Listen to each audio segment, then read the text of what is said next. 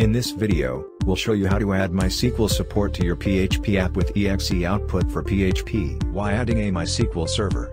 Since a lot of PHP projects use MySQL as database software, ExeOutput for PHP provides you with the ability to include a portable MySQL server, which is MariaDB, along your compiled PHP application.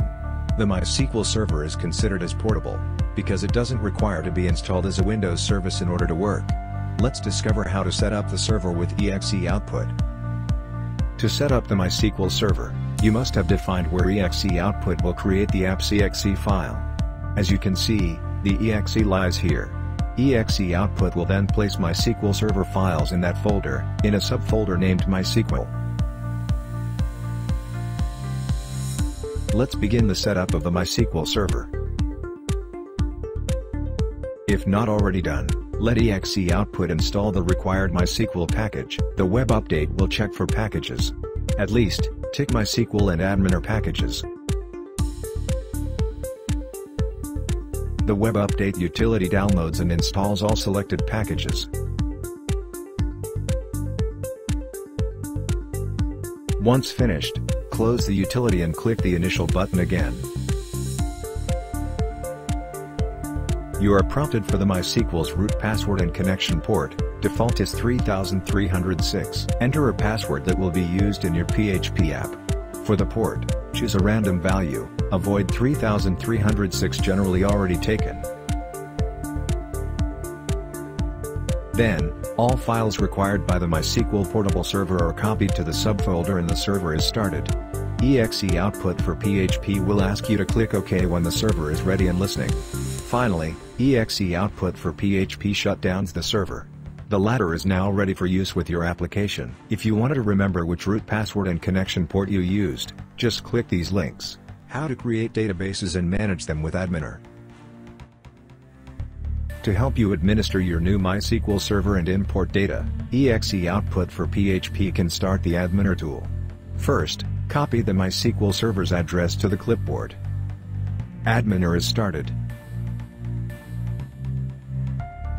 We can connect to our MySQL server by entering the appropriate credentials. First, paste the address into server. Enter the username and password as defined before. And choose Login. All databases are listed.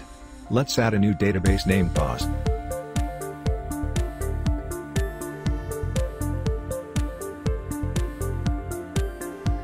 We can then execute SQL queries to import data for instance.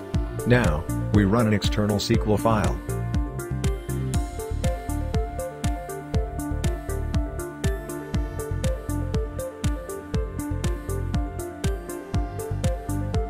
Alright, our database is ready. We can close Adminer.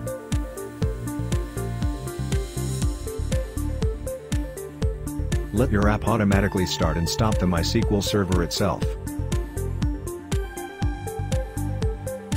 Associate your PHP app with the portable MySQL server. First, go to PHP extensions and be sure to enable the MySQLi extensions, so that your PHP app can handle MySQL. To turn them on, you can right-click on an extension and choose Compile into the exe in the context menu. We can now configure the database settings in our PHP app. Let's locate the configuration file. We enter the local host and port address. Then, the expected credentials defined earlier. We can compile our PHP app and try it.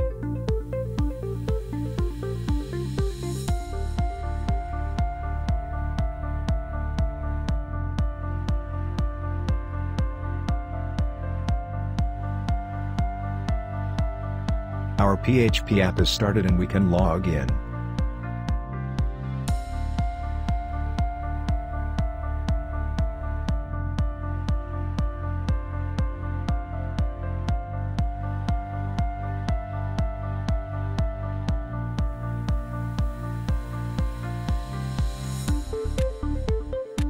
How to deploy the PHP application along the MySQL server. Back to the output folder with the app's.exe file, We can now see the MySQL subfolder. Delete the Adminer exe file, it is no longer necessary. Select all files in the output folder and we'll compress them into a simple zip archive.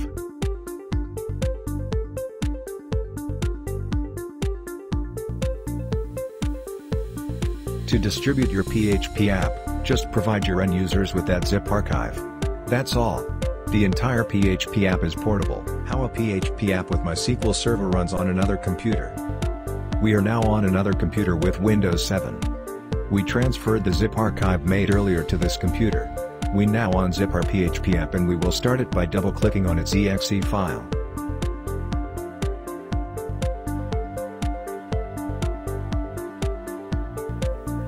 Our PHP app is started, and the MySQL server is active in the background.